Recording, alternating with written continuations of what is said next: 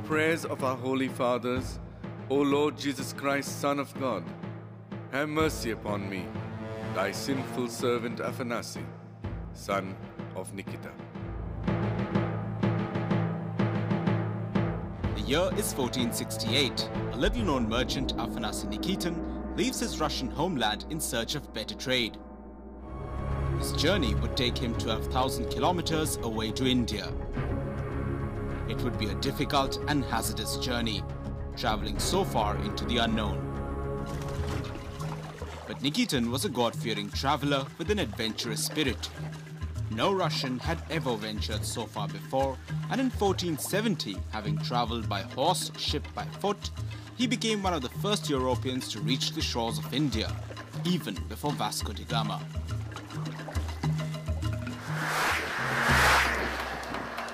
Five centuries go by. The year is 2006. An expedition sets off from Russia along the very route Nikitin once traveled and creates history as it does so. This is Nikitin's historic adventure retraced 540 years later. Except this time, the route will be covered by road in modern machines. It took Nikitin three years to reach India. Our 21st century travelers have set themselves the target of 46 days. Different times and different personalities have shaped India's relations with Russia. And the distance between these two countries has been crossed by sea, land and in imagination. There is some uh, strange attraction between Russians and Indians. And if there's one person who marks the starting point of the Indo-Russian friendship, it is Afanasi Nikitin. He wanted to come to India to see the fabulous, heroic country, the image of which was popular in Russia. Having to survive an arduous journey, Nikitin faced the daunting task of traveling across three seas, plunder, difficulties in food, accommodation and language. Nikitin left Tver and sailed down the Volga, crossed the Caspian Sea, Persia and from the Strait of Hormuz set sail for India. He lived there for three years before returning via the Arabian Sea, Africa, Persia, Turkey, sailing across the Black Sea to Kaffa. His travel journal was handed over to the court of Ivan III, and a copy was later discovered by the historian Nicholas Karamzin in a monastery near Moscow some 300 years after Nikitin's death. Karamzin publicized Nikitin's notes, which were published later in the 19th century as Voyage Across the Three Seas. He was also a person, a good diarist, a good writer, a good philosopher. So the most important, the most precious things are his diaries. Nikitin was the first basis of medieval knowledge of Russia on India.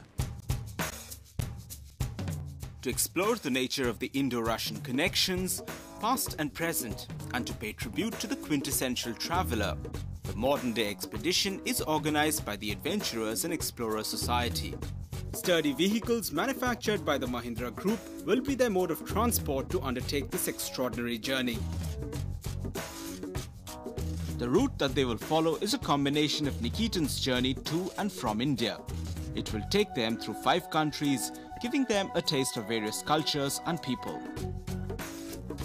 Through Russia onto Turkey, through the Caucasus onto Georgia, Azerbaijan, into Iran before reaching India at Chaul and heading to Bidar in Karnataka.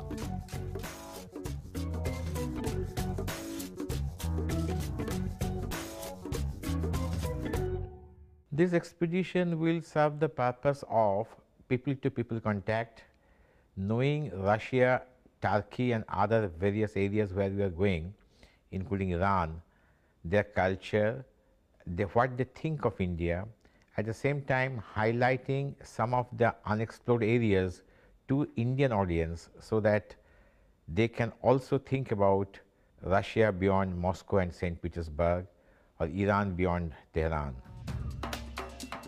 To trace this modern adventure in modern times is a mixed group of 10 people from different backgrounds, but with one common passion for travel and exploring uncharted territory.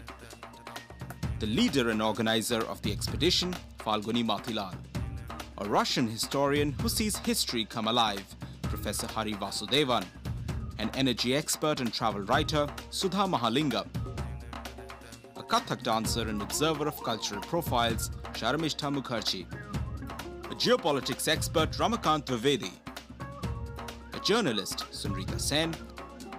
A doctor and adventurer, Dr. Rajendra Jain professional expedition driver and member of the special assignment team of Mahindra & Mahindra, Sudhir Kashyap. Rally drivers and technical crew, Abhineet Mehta and Sanjeev Thakur.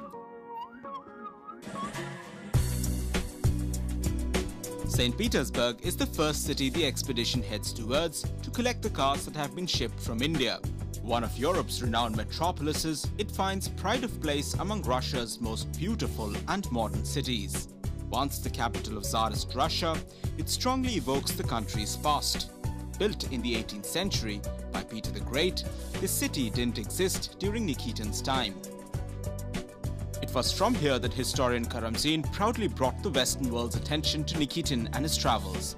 It was also here that Nikitin's account of his journey was first published. Preserving its past, St. Petersburg is rich in both art and culture. The team sees glimpses of Russian art at the Russian Museum. The enormous art and artifact collection at the Hermitage in the Winter Palace was once a part of Catherine the Great's private collection. It was in such a regal ambience that Russia's czars, her statesmen and scholars discussed the profound issues of the world, including the wonders of India's heritage. In its desire to promote relations with India, in its desire to, it's very committed and dedicated. And all these uh, friends of India, the Indologists, the experts on various fields have nothing but uh, good words about India.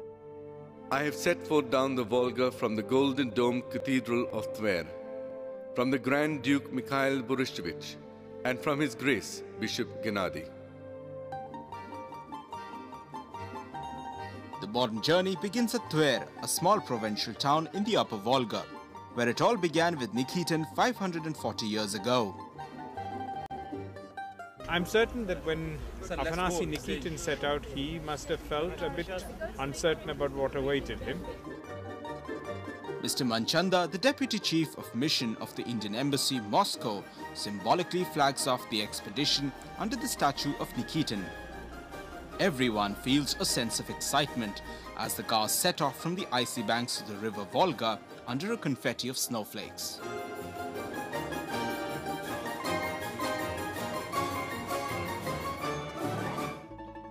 Little remains of the medieval Russia that Nikitin was familiar with. His home Tver is now a provincial capital surrounded by small towns. But in his time, it was a prosperous settlement centered in a Kremlin with lively trading taking place on the Volga and the adjoining river Tvertsa. A little away from the flowing Volga is the bustling city of Moscow. Here, the expedition members get a taste of contemporary Russia. Moscow, the town, was familiar to Nikitin and was then governed by Grand Prince Ivan III. Like all cities with a great past, old coexists with the new. Moscow is the political, economic and cultural capital that defines this massive nation. Today, consumerism has been unleashed and no longer is the Spartan lifestyle of the Soviet times visible.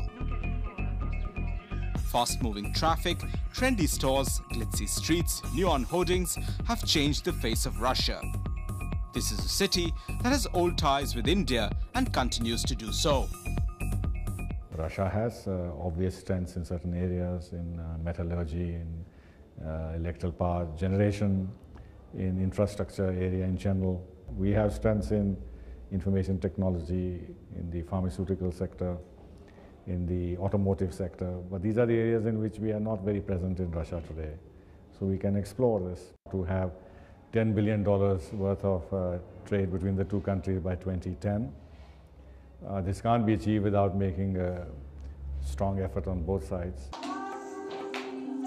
The old ties with India are quite evident in Moscow.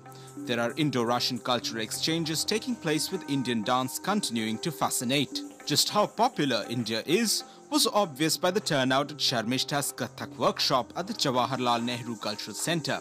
The students seem to enjoy every bit of it. There is a lot of interest in Indian classical dance, not only classical, in Indian culture, painting, architecture, everything uh, about India in Russia. It's not just dance, but also study of India and Indian languages that fascinates many.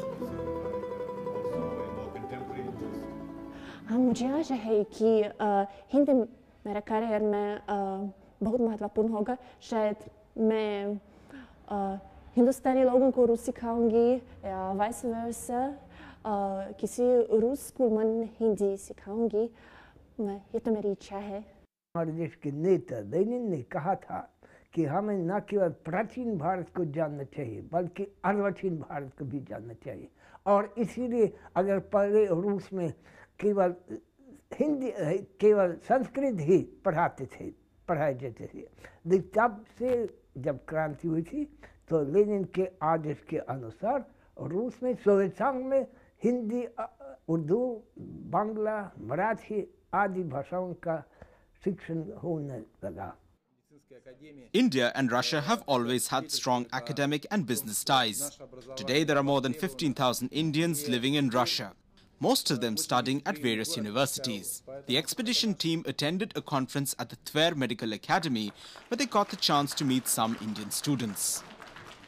India से better यहाँ पे education बहुत cheap लगा हमें as per क्योंकि India में जो fee structure था उससे यहाँ पे बहुत सस्ता है fee structure we have many seniors in India we them and two और three are practicing doctors in India who have completed their education from Russia.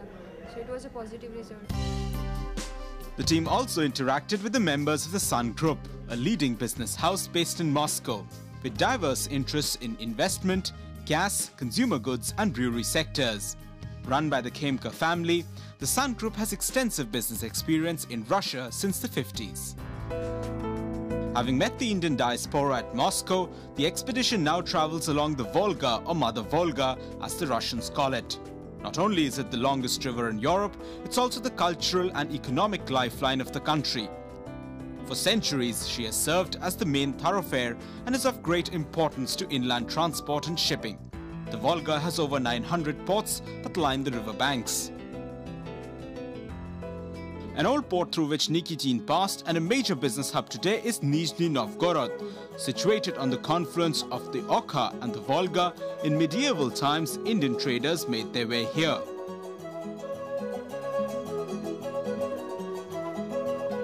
Built by the Grand Prince Yuri in the year 1221, it has preserved its heritage.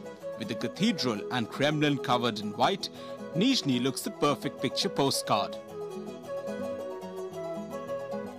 From 1932 to 1990, the city was called Gorky after the famous writer Maxim Gorky, who was born here.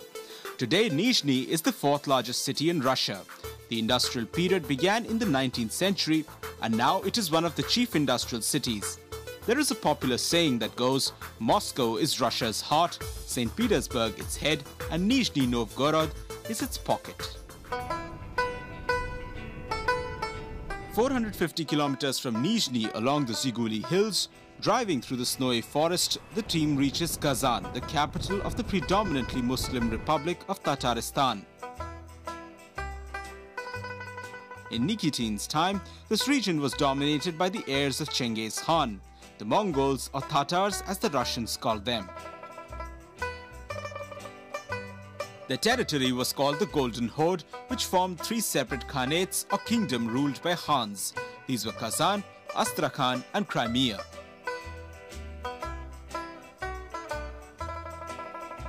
The Muslim connection can be traced back to the 9th century when the original settlers of this region, the Volga Bulgars, converted. Though it is well known, the prevalence of Islam in the middle of European Russia is still striking. Kazan is one of the northernmost points in the world where Islam has spread. The newly built Kul Sharif Mosque is a tribute to a structure that once existed during Nikitin's time but was later destroyed.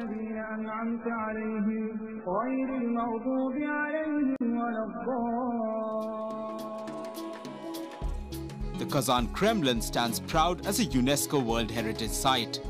This unique citadel has absorbed influences from two great world religions, Christianity and Islam, and represents an architectural synthesis of Tatar and Russian styles.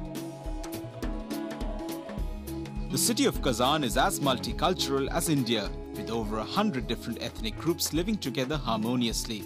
Its museum houses coins used for trade with India, which goes to show how old Indo-Russian ties are. There's even a travelogue by bin Muhammad who travelled to India in the 18th century. He wrote a, a travelogue which is in the Tatar language, which even today has not been translated into any other major well known language. So we do not know the account extremely well. Kazan, which has a number of universities, was where Lenin studied too. Close to Kazan is Ulyanovsk, once home to Lenin's family. The members visited the childhood home of Lenin, now a museum. It was here that Lenin's elder brother Alexander became a revolutionary, one of the many who inspired Indian revolutionaries in the early 1900s. After the October Revolution of 1917, the house became a respected spot for Indian socialists. For Lenin's help and respect for the Indian national movement, earned him the affection of the Indian freedom fighters. At the House of Euro-Asian Friendship in Kazan, Kanjivaram silk saris and lehengas were the dress code for the day when a special show was put on for the expedition. It seems many Russians enjoy learning Bharatnatyam. But can Bollywood be far behind? The girls know all the steps to hit Hindi film songs and look quite attractive in lehenga cholis.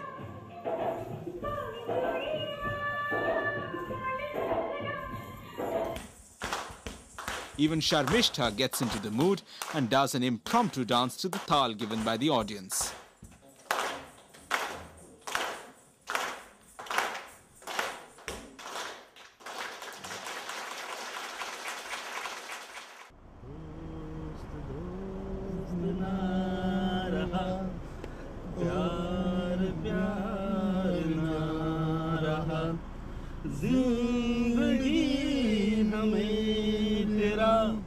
Raj Kapoor, we all know, was popular, but didn't know how much.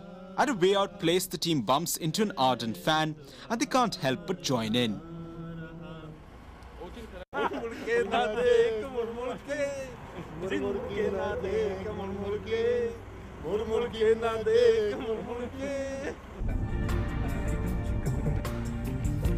Samara, a night halt for the team proves to be a bigger surprise than Kazan. Its members are invited to the House of Friendship where they can catch glimpses of India in a city that is hardly known back home. The House of Friendship is a dynamic educational experiment to provide children with a sense of beauty in a changing world. Indian exhibits play a prominent role and the team feels honored to be guests here. Seeing all these things here, it looks like that they have a great respect for Indian culture over here. The centre has links with the Agni Publishing House, which has brought out prints of Roerich and an album of Babarnama miniatures and a translation of the Akbarnama. It's a rich slice of India in provincial Russia.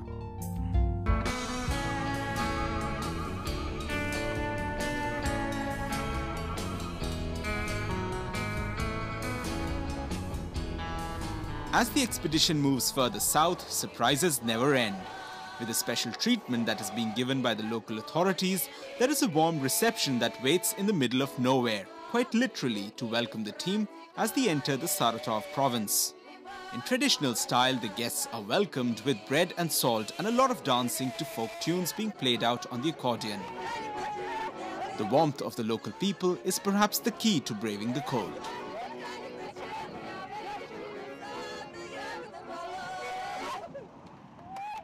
The dance was very spontaneous, music was lovely, women are beautifully attired and I love their headgear.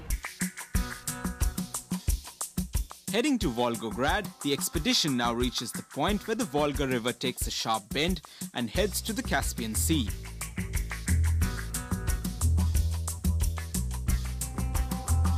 Formerly known as Tsaritsyn in the 16th century, then Stalingrad during World War II, today it is known as Volgograd. There are virtually no remains of the past here, as this was the site of the decisive Battle of Stalingrad between Hitler's army and the Soviet troops from 1942 to 1943. Underestimating the Russian winter, the Germans lost the battle and the city of Volgograd was rebuilt from the rubble.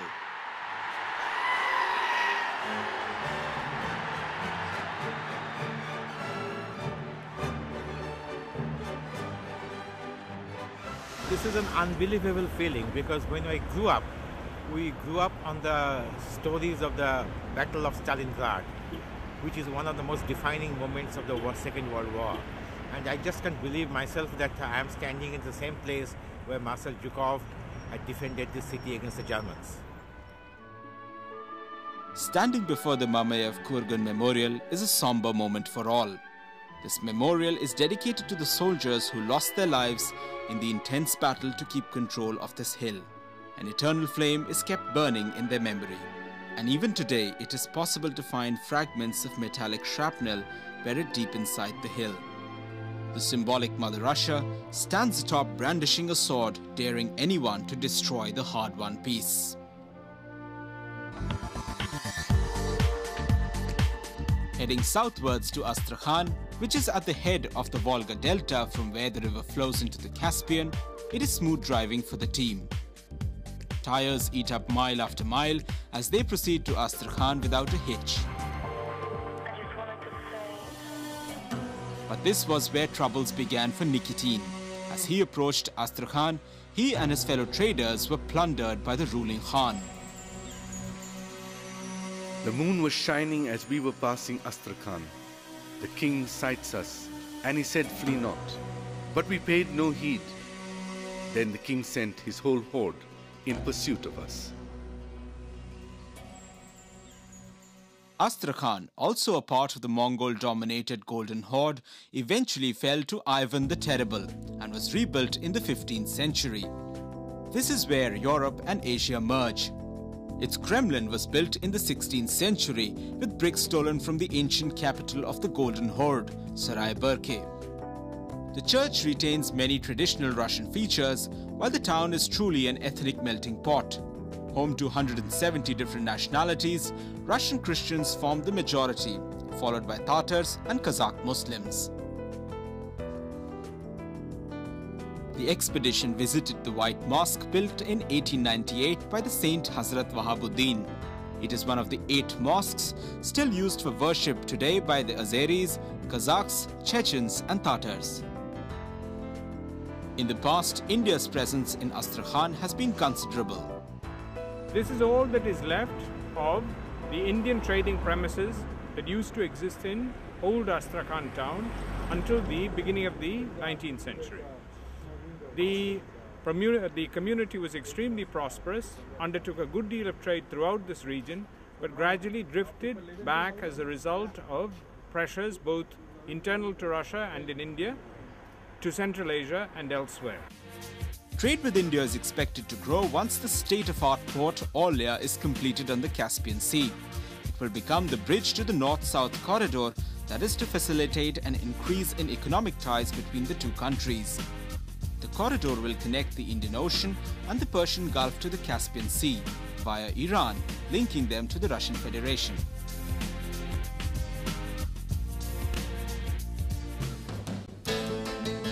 From Astrakhan speeding along the highway, spread out like a black ribbon before them, the expedition enters the Kalmyk Republic. Although Nikitin did not take this route, the team does, since traveling by road through Dagestan is forbidden. This detour gives them an opportunity to learn more about provincial Russia.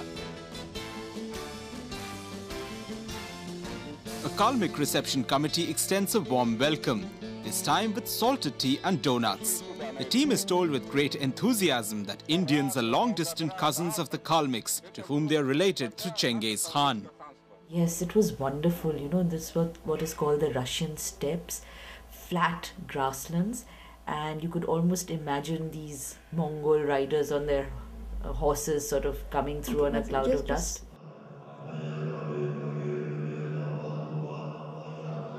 Despite a deep sense by now of Russia's cultural and ethnic diversity, nothing quite prepared the expedition for the capital of Kalmykia, Elista.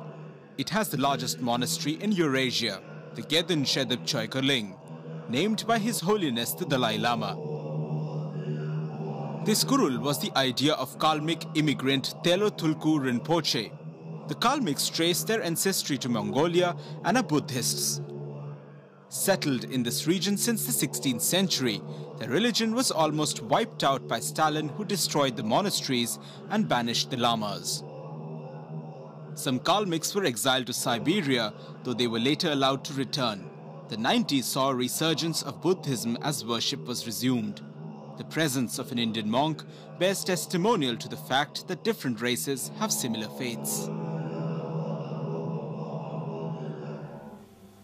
Bharat के Karnataka state Mohanpur taluk, वहाँ पर एक बौद्ध धर्म का एक बहुत बड़ा मनस्त्री है, तिब्बत के तो वहाँ से, यहाँ से वहाँ पर इन्विटेशन कार्ड भेजने से, वहाँ प्रचार करने का, फिर यहाँ के लोग ज़्यादातर बौद्ध धर्म में बहुत वो है, विश्वास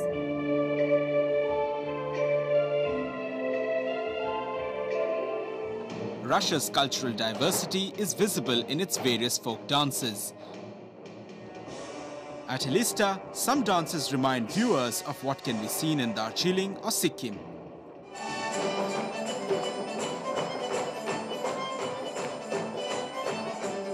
Dance steps vary, tunes change and costumes transform, but the energy remains the same.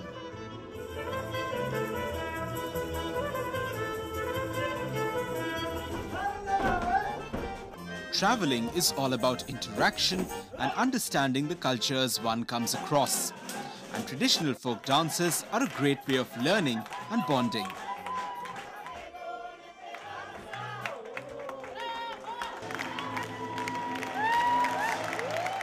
The reason behind my coming for this expedition was to explore firstly the Indian-Russian cultural link in terms of performing arts and also see their local variety of traditional folk dances. As the expedition ventures into the far-flung province of Krasnodarsky Krai en route to Kropotkin, the land of Kuban Cossacks, there is yet another welcome.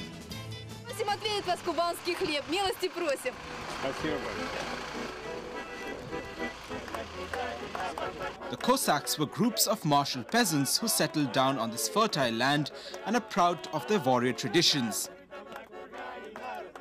The endearing hospitality given by them makes the visit all the more special.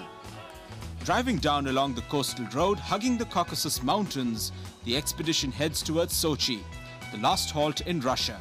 The Caucasus Mountains stand tall as they form a mountainous bridge between the Black Sea and the Caspian Sea. The hills change color as equally colorful roadside markets selling local produce are passed. It's a beautiful drive and the tantalizing view of the shimmering Black Sea is a high point for all. Sochi is a fashionable resort town with a modern port and is said to be the second longest city in the world. The last evening in Russia ends with a spectacular sunset on the Black Sea. It's a special moment as the team leaves this wonderful country after an unforgettable journey. A journey full of warmth and hospitality, great culture and stunning architecture. The setting sun almost seems to bid farewell.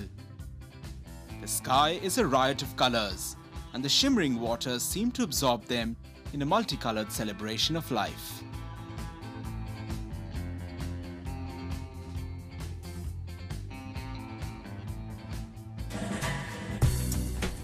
Black Sea is currently being looked at as a promising transport route to ship goods to Russian ports.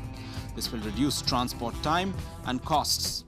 It is also the most powerful lever of geopolitical influence on a multitude of countries and international processes. Black Sea has got their role that if the Indian goods can come through Black Sea and reach to northern Russia, and there comes the role of the Black Sea. So in that perspective, I see that Black Sea has got both potential and prospect to enhance the economic engagement of India in erstwhile Soviet Union. By the mercy of God, I reached the Black Sea. Having boarded a ship from Trebizond, I struck a deal for passage to Kaffa.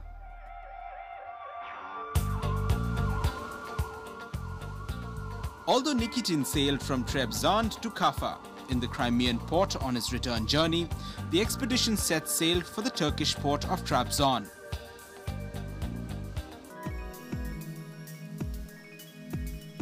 A provincial port of Turkey on the Black Sea coast, Trabzon was earlier known as Trebizond. Its history dates back to 756 BC when it was an important trading colony. By the time Afanasii Nikitin actually arrived here, it had passed to, through at least one and slightly more than one avatar, uh, first as a capital of a Byzantine empire, truncated Byzantine empire, that existed here during the early 13th century, and secondly as a uh, center, small center of the Ottoman Empire, which was then fully in charge uh, of this area by the time of his arrival. The Hagia Sophia, a stunning church of the Byzantine era that was converted into a mosque in the 14th century, can be seen from the busy streets. This was there during Nikitin's time. Leaving Turkey, the expedition drives along the coastal highway heading to Georgia. It's a long drive through the Caucasian range in rain, snow and hail.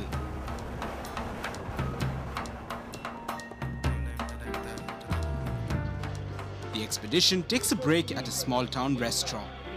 And lo and behold, there's a local TV channel showing a Hindi movie.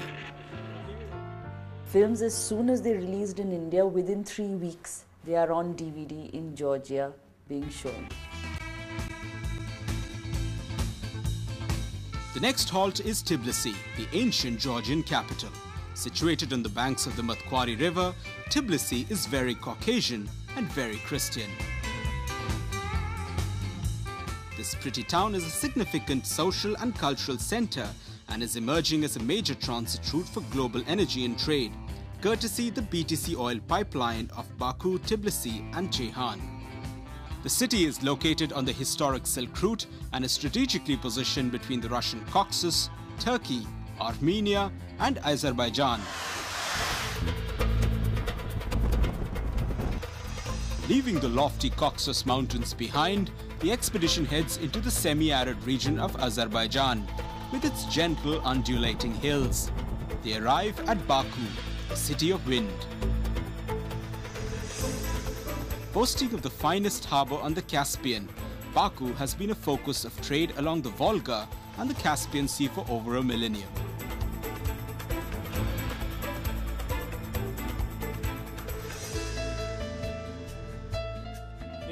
Came here via Derbent. He was alone. The last of his group had been left behind after the attack by the Kaitaks. Nikitin doesn't say very much about Baku. In Nikitin's time, it was also remarkably the hub of activity. Whether he actually met the Shirvan Shah of that time is something that we have to guess at. The almond-colored Shirvanshah complex is the biggest monument of Azerbaijani architecture. It is divided into five courtyards at three different levels and houses a palace and mausoleum. Medieval Azerbaijan had cultural and trade connections with India. More evidence is available at the Ateshgah temple or the fire temple at Surakhani, where an eternal fire is kept burning. Stone inscriptions in Sanskrit and Gurmukhi at the sacred site give the courtyard a distinctly Indian atmosphere. चूहा किस चूहो नानक सभी सोचिए साहिब गुरु इनसे ऐसा लगता है कि जैसे यहाँ पर हिंदुस्तान से सिख लोग भी आए थे Built on the ancient site of Pillars of Fire, this temple is now fed by piped gas. It is from here that fire worship spread to Persia and later established itself as the Zoroastrian faith. The site was restored by Indian merchants in 1743 who built various rooms quite like a sarai. The burning fire is now only a memory of what the temple was centuries ago. I felt as though I was standing in a very ancient place my, where my ancestors worshipped.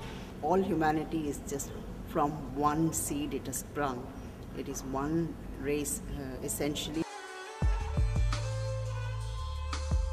Baku has a 700 strong Indian community, primarily businessmen working in the pharmaceutical and petroleum industry. Excited at having Indian travelers in town, the expedition team was treated to a lavish Indian lunch. The oil in Baku was discovered in 1823. Commercial production started only in the early 20th century. The Nobel brothers and other oil investors were the first to start the oil boom in Baku.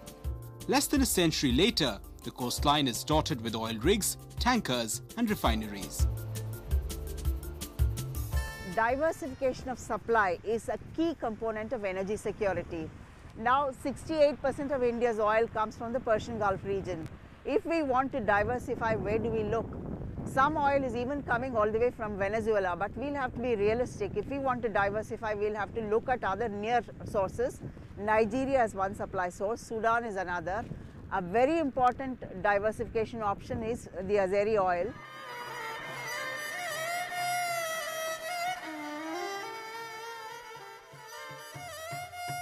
28 days later, the expedition makes its way from Baku to Tehran, Iran's capital.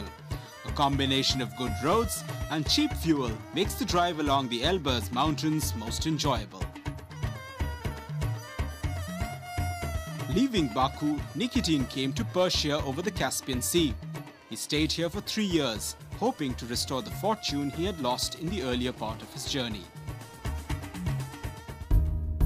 From Baku, where the eternal fire is burning, I crossed the sea to Sari in the Mazandaran country. Iran dates back centuries as one of the oldest empires in the world. The very mention of the country evokes images of exquisite carpets, stirring lyrical poetry, miniature paintings, Islamic monuments with gardens reflecting paradise, friendly people and delightful cuisine.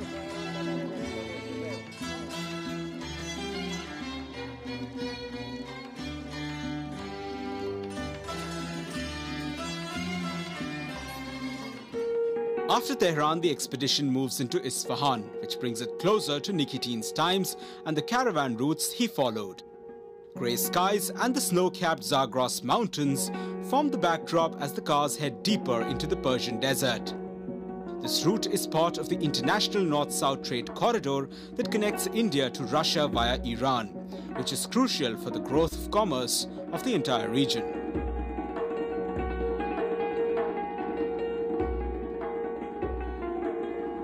Isfahan is the heart of Persian art and culture. Isfahan Nesfe Jahan, as the old saying goes, means Isfahan is half the world. Although its history goes back by 2500 years, its glory days were in the 17th century.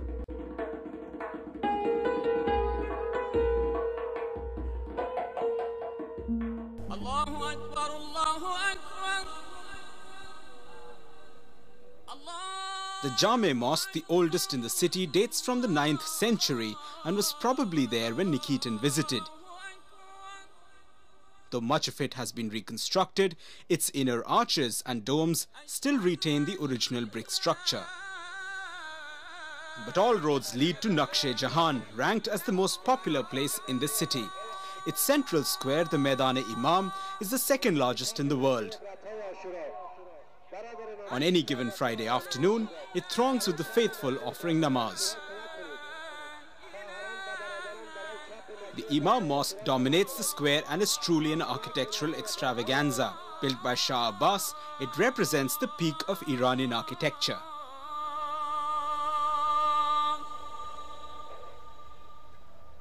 In the course of some 500 years, between the 12th century and the 16th, this town became the capital of Persia twice. In the 15th century, at the time when Afanasii Nikitin passed through here, this city was utterly denuded of much of the grandeur that had been its property during the course of the 12th and 13th centuries. On one side of the Imam Square is the jewel of Isfahan, the Sheikh Lutfullah Mosque. Breathtakingly beautiful with its blue exterior, it too was built by Shah Abbas. Somehow, its elaborate design heightens the mosque's spirituality rather than detracts from it. Isfahan is truly an architectural symphony. No wonder many of India's finest monuments often drew on Persian architects.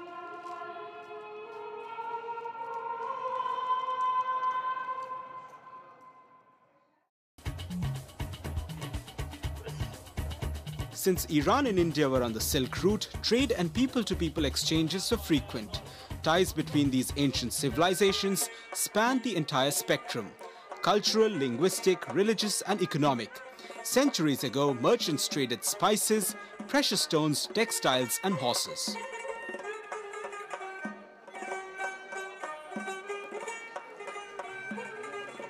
हमको ज़ाफ़रान business करेगा और किशमिश पिस्ता आनी rose water ज़ाफ़रान India में भेजेगा पंद्रह साल पहले बम्बई में थे हम अच्छा लगा ये सब आदमी लोग अच्छा है उसका शहर अच्छा है सब चीज़ अच्छा था An impressive reminder of the Indo-Persian connection can be seen at the Chehel Sultan Palace. This reception hall has a fresco depicting Shah Tahmasp welcoming Mughal Emperor Humayun.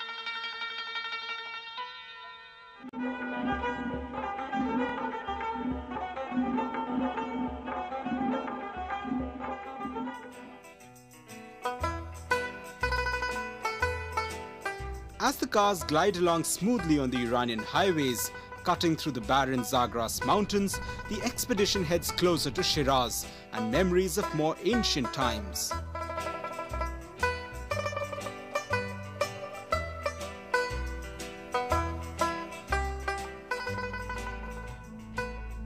They reach the ruins of the fabled city of Persepolis, which have survived the passage of time and the brunt of invasions.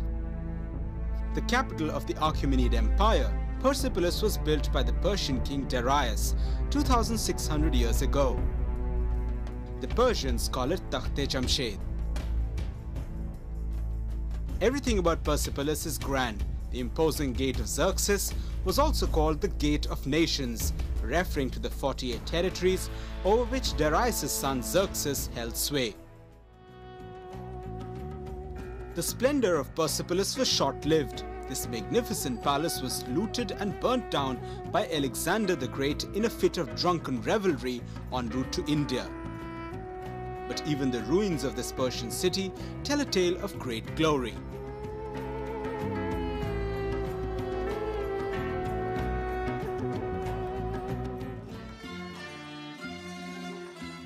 Shiraz, another Persian capital, is a city of poets, flowers and carpets. Spread out like an expansive garden, at nearly every corner there's a monument or mosque. This land was home to the great Sufi poet Hafiz. Today his tomb is revered and attracts millions of visitors. His mystical poetry influenced generations with its theme of divine love. The Indian sage Meher Baba actually recited Hafiz's poetry while dying. Such was its power and poignancy. Taking cherished memories with them, the group sets off from Iran and heads home to India, as Nikitin had 537 years ago via the Straits of Hormuz. He heard many fairy tales about India because some of them, they came from India, they went via uh, Arabic uh, countries and they came to Russia, sometimes from Byzantine, sometimes directly from Arabic countries. They were talking about India, not so much about the real India already, but as a land of wonder. After Easter, I sailed across the Arabian Sea on a dabba with horses for trade.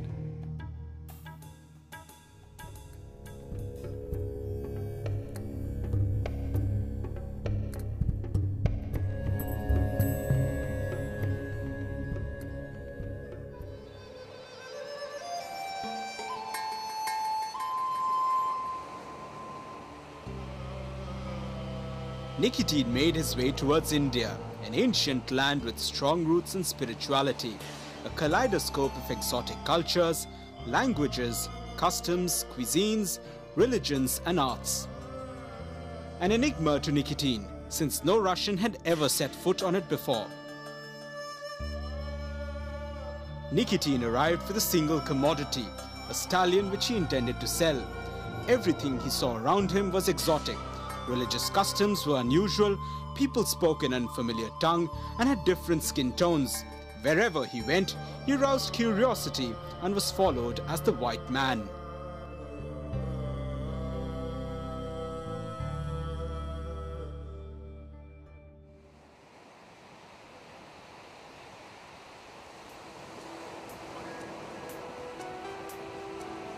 Nikitin first landed at Chaul, a small village close to present-day Mumbai. And this is where the Indian leg of the expedition begins. At the monument dedicated to the memory of Nikitin arriving on Indian shores. Standing strong at the SRT High School in Revdanda, it symbolizes the 500-year-old Indo-Russian friendship. Friendship that is valued and nurtured further through people-to-people -people contact and Russian studies at universities. Diplomatic relations, as we understand, started here in 19th century, in the early beginning. Then, if we can say, diplomatic relations between uh, Russia, Eastwhile USSR, and uh, India started in 1947 in India, we have uh, cultural centers uh, acting since for the period of 30 years. So our main task is uh, to bring Russian culture, to bring Russian education here and make it closer to Indian people. Leaving Chaul, the team arrives at the small town of Junnar, surrounded by the Western Ghats in Maharashtra.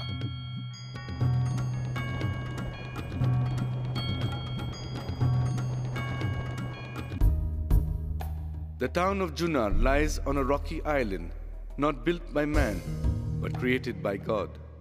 It takes a whole day's uphill walk to go there.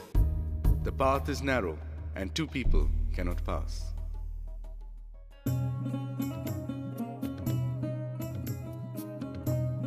The rocky slope of Nikitin's time still exists today. It is at Junnar that he got his first insights into Indian life.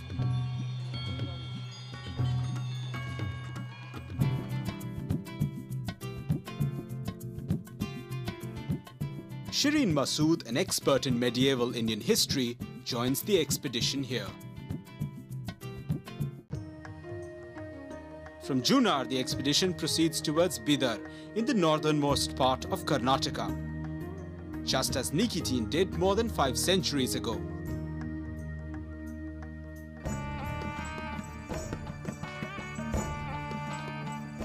That Nikitin visited the Bahmani kingdoms during its golden years is evident from his writings.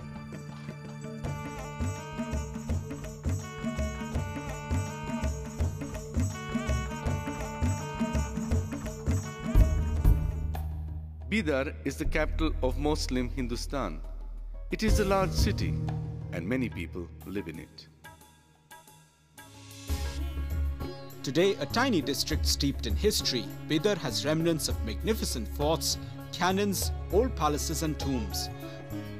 The fort's arched entrance even today evokes a sense of quiet awe at the sheer splendor of the Bahmani kingdom.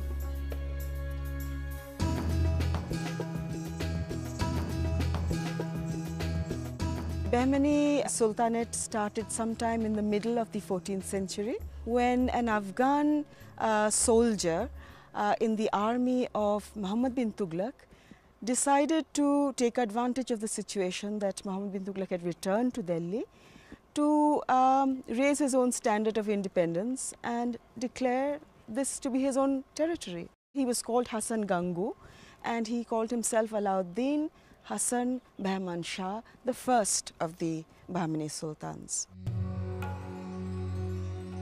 The red ramparts of the imposing Bidar fort that once guarded the city are perched on rocky cliffs that overlook the Deccan Plateau. It has five entrances with the Shahraza Darwaza as its main gate.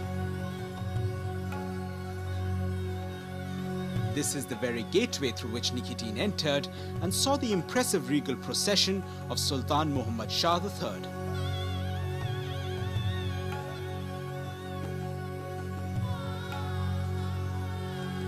Close by this is the Jame Mosque, also known as the Sola Khamba Mosque. Surrounded by gardens laid out in typical Islamic style, it seems straight out of the pages of an Arabian Nights fantasy. Bidar is of particular interest to the Russian government, and even today, local memory ties the past to the present as the inhabitants are aware of old Indo-Russian ties. When the diary was published, USSR government was curious about Bidar. They wanted to know about Bidar. The municipal chairman of this city was uh, invited to Russia. There he was honored. Although only ruins remain to tell a tale of the past glory, the residents of Bidar are proud of their heritage, and even more so when they read Nikitin's account of Bidar. Nikitin mentions Malik Atajur or Mahmud Gawan often. Gawan, a powerful trader from Persia, came to India and stayed on. He patronized trade between Persia and Bahmani extensively. He also became the kingdom's prime minister, its virtual ruler. During Nikitin's visit to Bidar, Gawan constructed a famous madrasa where students from all over the world studied. Since the language of the court and elite during the 15th century was Persian, Nikitin's familiarity with the language may have been one of the reasons why he stayed here longer. From Persia, we have master craftsmen arriving, we have scholars arriving, Sufi saints arriving. So there is a lot of, uh, you know, interaction and give and take.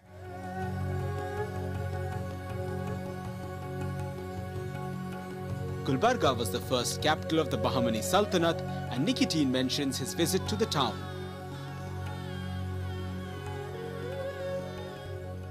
Many uh, monuments described by Nikitin, they still survived in India. That's very important. India now is a, a live story of Nikitin traveling.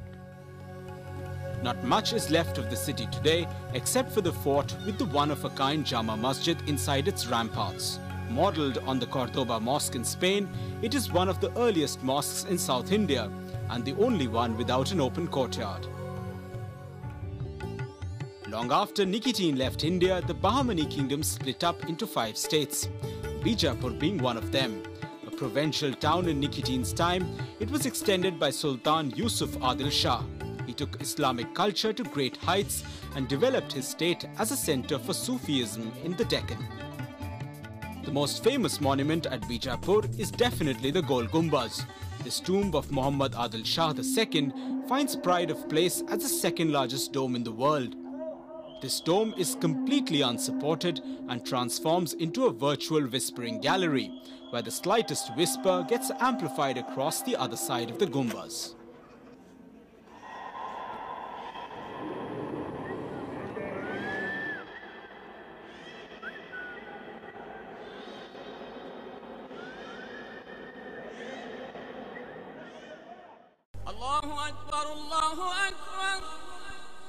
Living in India, Nikitin had the opportunity to interact with people of various faiths. Since the Bahmani kingdom was Islamic and Nikitin an Orthodox Christian, his faith was often questioned. Having lost a sense of the Christian calendar, his life came to revolve around the Muslim festivals that happened to coincide with Christian feast days. As for the great Christian feast, the resurrection of Christ, I know not when to keep it. I fasted with the Muslims and broke my fast when they broke theirs. He looked through the Russian eyes. He was an Orthodox. He didn't know about the Brahmanism, Hindu religion, uh, Buddhism, like this. Muslims, not. He was not so acquainted with this, but he was re received with a great respect. During his stay at Bidar, he came into close contact with Hindus as well and began to understand many aspects of their religion, the worship of idols, and the broad view of Hinduism of that time.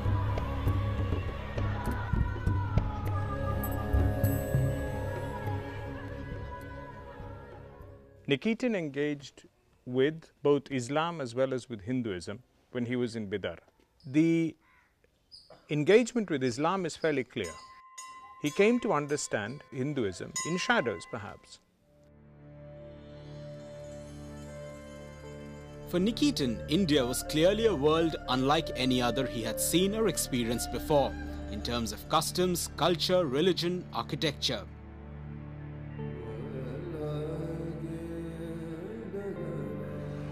Today, this diversity still exists, and the team members get a sample of the country's sheer variety as they drive through the small towns of South India.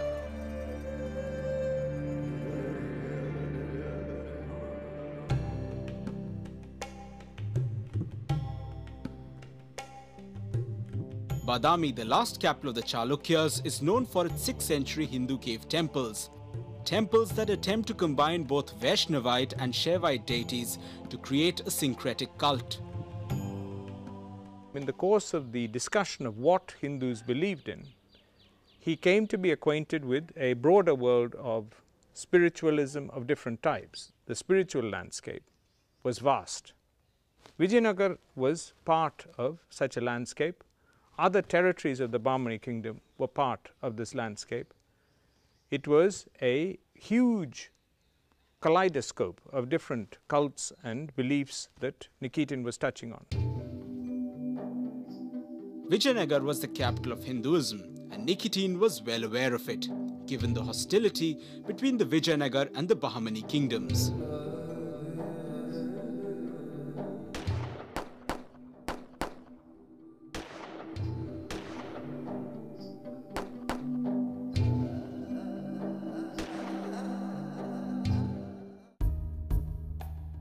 Malik at-Tajur had set out to reduce the Indian kingdom of Vijayanagar. And the prince of Vijayanagar had 300 elephants and an army of 100,000.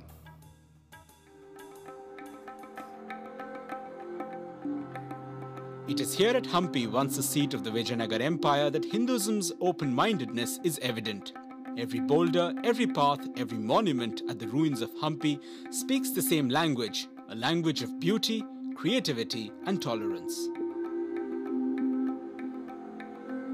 The Vithala temple complex is an architectural masterpiece which was started during the reign of Krishna Dev Raya. Legend has it that Lord Vishnu found the Vithala temple too grand to live in and returned to his abode in heaven.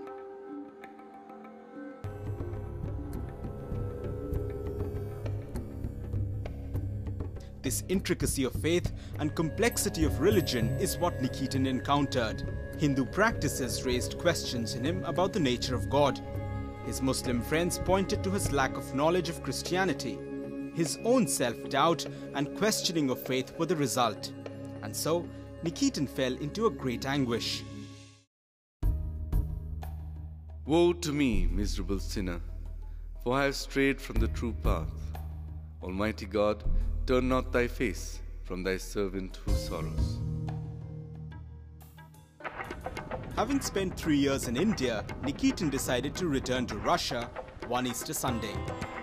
His religious dilemma, along with love for his homeland, urged him back to Russia, to his own people.